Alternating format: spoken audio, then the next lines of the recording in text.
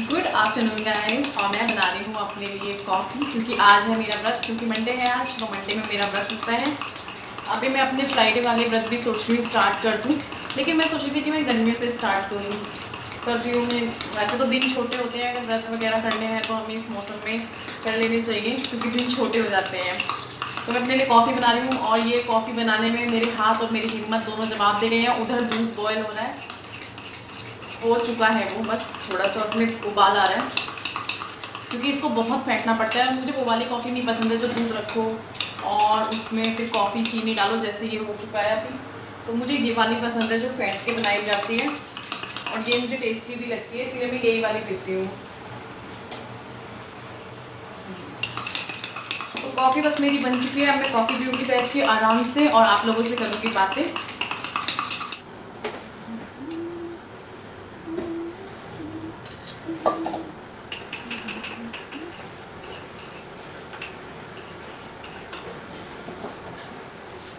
मेरी कॉफ़ी बन गई। अब मैं इसे पीऊँगी इतनी मेहनत के बाद, इतनी टेस्टी कॉफ़ी मिलेगी तो सुकून मिलेगा।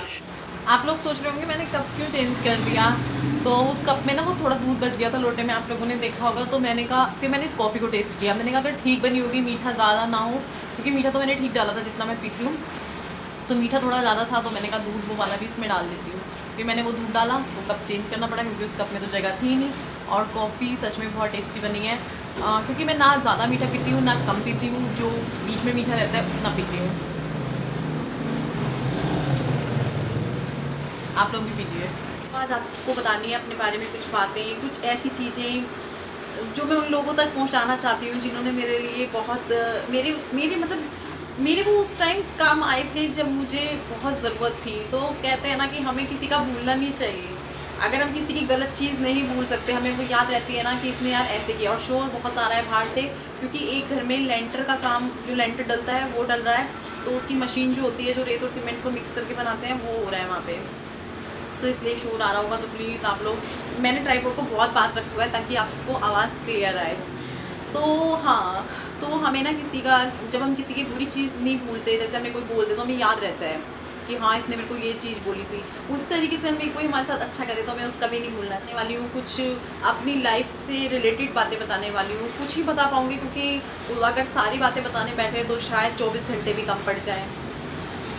मेरी शादी को पूरे दस साल हो जाएँगे, सत्ताईस फरवरी 2019 में। मेरी शादी हुई थी सत्ताईस फरवरी 2009 में और है एक जून 2010 तब मैं की है 18 सितंबर 2015 मैं आपको सबसे पहले ये बता दूँ कि मैं कोई ज़्यादा पढ़ी लिखी नहीं हूँ। मैंने सिर्फ़ ट्वेल्थ तक पढ़ाई की है। और शादी के बाद मैं पढ़ सकती थी अगर मैं चाहती तो क्योंकि मेरा ससुराल बहुत अच्छा था, लेकिन मैंने मुझे इंटरेस्ट नहीं था। मैंने कहा, मैं तो हाउस वाइफ बन के रहूँगी। यहाँ इतना अपनापन मिला कि पढ़ाई जैसी चीज़ मतलब लगा ही नहीं। क्योंकि पढ़ाई भी हमें तभी याद आती है ना, जब हमें लाइफ में कोई दिक्कतें हों या हम कुछ बनना चाहते हों। या तो तब हम सोचते हैं कि यार हम पढ़ लेते हैं, हमने दुख देखे हो भाई, इससे अच्छा तो हम पढ़ ही लेते हैं, हम कुछ कर रहे होते अपने पैरों पर खड़े होते या हमें कुछ बनने का हो तब, दो तरीके होते हैं। तो मैं बनने बनने का मेरे अंदर था ही नहीं कि मुझे ये बनना है या वो बनना है या ये करना है। और दुख मुझे कभी मिला नहीं टच वो मेरे घर गृहस्थी बहुत अच्छी है। माता रानी की बहुत कृपा है और मेरे साथ सबसे बड़ी चीज़ ये है कि जो चीज़ मैं सोचती हूँ कि मुझे ये चीज़ करनी है मतलब मैं फ्यूचर में सोचती हूँ कि यार मुझे ये करना है, एक साल बाद मुझे ऐसे करना है।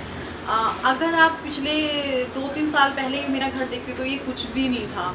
और आज ये बहुत अच्छा हो गया है। और शायद आने वाले कल के लिए जो मैंने कल्पना की हुई है वो सब चीज़ें भी होंगी। क्योंकि मुझे माता रानी पर बहुत विश्वास है। जो चीज़ मैं सोचती हूँ ना, वो चीज़ मेरी हो जाती है। भले ही देर, सवेर हो, पर हो जाती है। सबसे पहली बात मुझे पता ही नहीं था कि मेरी शादी गाँव में हो रही है। मुझे पता था देहरादून में और मेरी सास, ससुर बहुत अच्छे थे, इन्होंने इस घर में कभी मुझे ये सब सुनने को नहीं मिला कि तुम्हें ऐसे रहना चाहिए या वैसे रहना चाहिए, तुम्हें घूंघट करना चाहिए, तुम्हें, तुमने, तुम ये क्यों नहीं लाई, तुम वो क्यों नहीं लाई, ये सब मेरे साथ कुछ नहीं हुआ। मेरी लाइफ बहुत अच्छी थी, बहुत अच्छी है और भगवान से मैं यही दुआ करूँगी कि बहुत अच्छी हो आगे भी। और सबकी हो बहुत अच्छी। मैं मेन देहरादून से नहीं हूँ, मैं देहरादून से थोड़ा सा एक गाँव है, वहाँ हूँ। यहाँ से देहरादून 40-45 मिनट के रास्ते से होगा। सुबह के टाइम दोपहर में तो बहुत जाम वगैरह होता है ट्रैफ़िक होता है तो दोपहर में तो टाइम लगेगा। और मैं आपको अपनी जो बातें बता रही हूँ, मैं वो बता रही हूँ जो मुझे याद आती जा रही है। क्योंकि मैं लिख के नहीं बैठी हुई कि आज मैं अपनी लाइफ के बारे में आपसे ये बात करूँगी या वो बात करूँगी। मैं सिर्फ़ वही बता रही हूँ जो मेरे, मुझे याद आती जा रही हैं, मैं बताती जा रही हूँ। और जिनको ये लगता हो कि भाई आप ये इतना घुमा फिरा के क्यों बोल रहे हो? आप ऐसे भी बोल सकते थे। तो देखिए, जो बातें हमें याद आती रहती हैं या जिन्हें हमें आपको समझाना होता है, हमें ये लगता है, आपको थोड़ी पता है, आप वीडियो देख रहे हो तो मुझे ये लगता है कि पूरी समझानी चाहिए ये चीज़ें। तो चलिए, अब यहाँ मैं इस बात एंड करती हूँ, जो मुझे बात करनी मैं वो शुरू करती हूँ। तो मैं आज अपनी लाइफ के उन लोगों को याद कर रही थी, जो मेरे बहुत काम आया मेरी ज़िंदगी में मेरे बहुत काम आया और उस वक्त काम आया जिस वक्त मुझे सबसे ज़्यादा ज़रूरत थी कि कोई मेरे साथ हो। घुटों के टाइम पर मेरी सास थी। और जब हमें किसी को ये थी, था वर्ड लगाना पड़े तो बहुत गंदा लगता है। और मेरी लाइफ में ऐसे बहुत से रिश्ते हैं जो अब था में ही हो चुके हैं, अभी वो नहीं है। और हाँ तो गुड्डू के टाइम पे मम्मी थी तो मुझे कोई दिक्कत नहीं हुई थी, बहुत सब ठीक ठाक चल रहा था। और उस टाइम मुझे अपनी घर गृहस्थी के बारे में कुछ नहीं पता था कि हमें जोड़ना चाहिए, बचत करनी चाहिए, हमें मतलब मैं बहुत ही फिजूल खर्ची करती थी, जो पसंद आ गया वो चीज़ खरीद लेती थी, जो अच्छा लग गया वो ख़रीदने का था, बस चाहे वो मेरे काम का हो, ना हो, या मेरे लिए बेकार हो, या मुझ पर अच्छा लगे, ना लगे, मैं ऐसा करती थी। धीरे धीरे मुझे समझ आती रही धीरे धीरे मैं सीखती गई सीखती गई, और रोज़ हम कुछ नया सीखते हैं। फिर उसके बाद ये वो शैतान नालायक मेरी लाइफ में आया तो एक अट्ठारह सितंबर 2015 को। जो कि पता ही नहीं था कि यार इस टाइम ज़िंदगी एकदम से मुड़ने वाली है एकदम से बदलने वाली है कुछ नहीं पता था। क्यों हमें पता ही नहीं होता जिन चीज़ों से हम निकलते हैं तभी हमें उन चीज़ों के बारे में पता चलता है एक्सपीरियंस होता है हमें समझ में आता है। आ, सबसे पहले मासी का मैं यहाँ नाम लूँगी। मासी ने मेरी बहुत हेल्प की थी उस टाइम वो मेरे लिए इतनी दूर से बॉम्बे से यहाँ आई थी। उनको लगा कि रिंकी को मेरी ज़रूरत है मुझे आना चाहिए क्योंकि उस टाइम हमें ज़रूरत होती है। दस पंद्रह दिन वो मेरे साथ रही थी, वो पहले ही आ गए थे मेरी डेट से, जो डेट हमें दी हुई होती है डॉक्टर ने, उससे पहले ही आ गए थे। तो मासी, अगर आप देख रहे हो तो थैंक यू आपको, आप मेरे लिए उस वक्त आए, इतनी दूर से आए। तो उसके बाद जब मासी चले गए थे तो मेरी मम्मी आई थी और मम्मी को भी दिल से थैंक यू वैसे मम्मी मेरी वीडियो बहुत कम देख पाती है, मैंने आपको बताया ही है, क्योंकि मेरा भाई नोएडा में रहता है, वो जब घर जाता है तो मम्मी देख लेती हैं, क्योंकि मेरी मम्मी को वो फ़ोन स्मार्टफ़ोन वगैरह चलाने नहीं आते हैं। और तीसरी चीज़ जो यहाँ पे मेरे आसपास लोग हैं, मेरे परिवार वाले हैं, ताई, चाची, काकी, भाभी, जो भी हैं, उन लोगों ने मेरी बहुत मदद की। क्योंकि देखिए, बच्चे को बड़ा होने में दो चार दिन महीना भर नहीं लगता है। उसको कम से कम दो साल तक के बच्चे को हमें पूरा ध्यान देना पड़ता है। उसको देख, देखना तो उस नलायक को अभी पड़ता है। गेट खुला होना चाहिए, वो ऐसे बाहर भागता है, उसको पता ही नहीं होता कि बाहर ट्रैक्टर इतने चलते हैं गाँव में, उसको बिल्कुल ध्यान नहीं होता। इतना डर लगता है ये मुझे स्पेशली बोल के बताते हैं कि गेट खुला ना रह जाए। मैंने कहा हाँ भाई, मैं क्यों खोलूँगी गेट तो फिर उसके बाद जो भैया है, मैं आपको बताती हूँ कि तन में है, नहीं, बड़े पापा के पास है। तो भैया उसको सुबह उसी टाइम से ले जाना शुरू कर दिया था, जब बच्चों को बाहर ले जाना शुरू कर देते हैं, सवा महीने बाद तब से। तो वो सुबह ले जाते थे। शाम तक वो वहीं रहता था, कई बार दोपहर तक, कई बार रात तक भी रहता था। पर कई बार ऐसा होता था कि वो मेरा ही दम पीता था, मेरे पास ही होता था या थोड़ी देर में आ जाता था। तो वो एक दिन क्या हुआ था कि वो दो महीने का ही रहा होगा, मैं उसको अपनी मम्मी को देने के लिए चली गई थी। क्योंकि देखिए, मेरी मम्मी भी मेरे पास यहाँ नहीं रह सकती थी दो चार महीने। मैं तो रखने के लिए तैयार थी बट उनको ये लगता था कि सब क्या कहेंगे, मेरे ससुराल में क्या कहेंगे। उनको शर्म आती थी। वो बोलती थी कि मेरे से यहाँ पे खाना भी नहीं खाया जाता है, कि मुझे बिल्कुल अच्छा नहीं लगता है कि मैं बेटी के यहाँ खाना खा रही हूँ। ये वो चीज़ें उनको नहीं अच्छी लगती थी।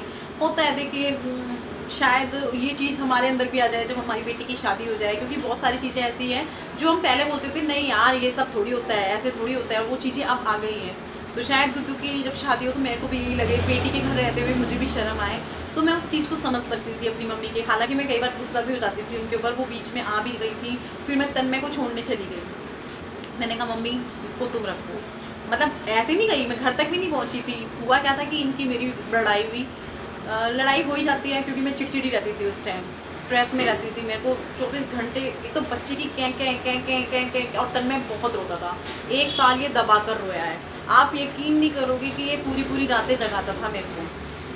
पूरी पूरी रात मैं ऐसे बैठी रहती थी, बेड से कमर लगा के, वो वाला जो मेरा बेड है, उस पर ऐसे बैठी रहती थी और इसको ऐसे ले, क्योंकि जैसे ही आँख लगी या लेकर लेट, लेटे हुए हम इसके बराबर में ये लेटा हुआ है इसको गोदी में ही बैठना होता था, जब तक ये रोता रहता था, अगर हम इसको ऐसे लेट के जगह में तो ये तभी चुप रहता था। पड़ोसी भी दुखी हो गए थे और बोलने लगे थे, ये क्यों रोता है? इसे डॉक्टर को दिखा लो। भाई, अगर मेरे को याद आता, अगर ये सिर्फ़ डॉक्टर को दिखाए तो फिर ये दिन में क्यों नहीं रोता? अगर कोई तकलीफ़ है, कुछ परेशानी है, बच्चे की तबीयत ख़राब है तो वो दिन में भी रोना चाहिए। ये सुबह छः सात बजे के बाद बिल्कुल नहीं रोता था, मस्त सोता था, हंसता था, खेलता था। पहली बात तो पाँच छः घंटे सोता ही था। उसके बाद उठता था, जो इसे करना है शू शू पॉटी, दूध पीना है, वो सब करके फिर सो जाता था। इसका रात का नियम था, ग्यारह बजे से छः सात बजे तक ये कंटिन्यू जागता था। तो हम हो गए थे इस चीज़ से तो मेरे को गुस्सा आ रहा था, मैं शुरू हो गई कि बस बहुत हो गया, ये वो, मैं तो जा रही हूँ। तो हम चले गए थे तन्मय को छोड़ने के लिए। हम मेरठ तक पहुँचने वाले थे कि बीच में काकी भाभी का फ़ोन आ गया था।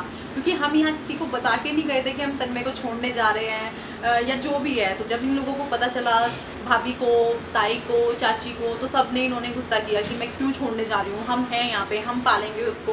ये देखिए, बहुत बड़ी बात होती है, कोई इस तरह की बातें बोलते हैं हमारे लिए, चाहे करे ना करे। तो फिर हम लोग वहाँ से वापस आ गए थे, जब स्ट्रिक्टली इन लोगों ने बोल दिया था। मैंने कहा, चलो, ठीक है।